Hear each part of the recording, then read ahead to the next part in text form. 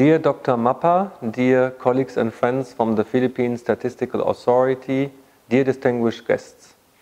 It's a great pleasure for me to say a few welcoming words to your important dissemination forum on citizen-generated data. A very warm welcome from Paris and from Paris 21.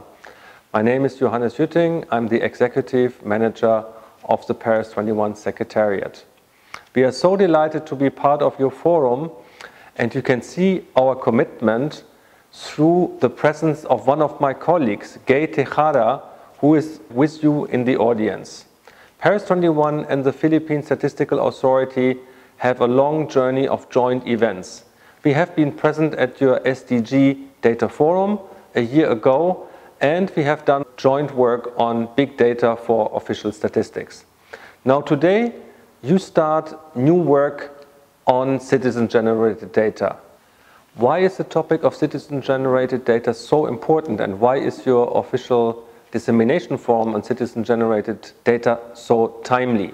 Let me give you three reasons for this. The first is we need more and better data for official reporting and citizen-generated data is a new source of reporting and can help to provide us with more and better information for many important things. Gender equality, satisfaction with public services, and so on and so forth. So that's the first point. Secondly, we have a closer buy-in of users. Citizen-generated data is generated by citizens. Citizens are users. So it's a fantastic opportunity for you as an official statistical office to reach out to users.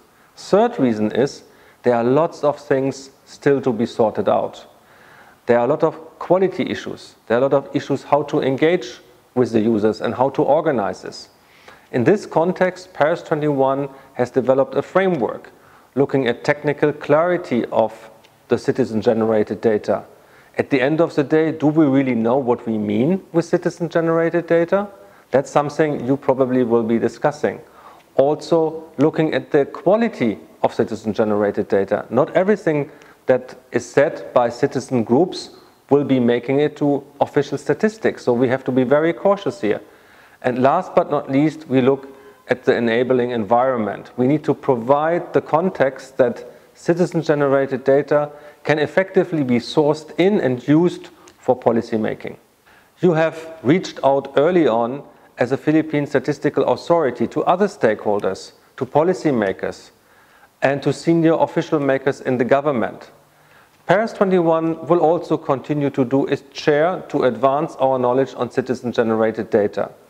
And in this context, your workshop here, your dissemination forum is again very timely and we wish you all the best for it. We stand ready to um, help implementing the results and we are looking very much forward to continue the cooperation with the Philippine Statistical Authority. Thank you very much.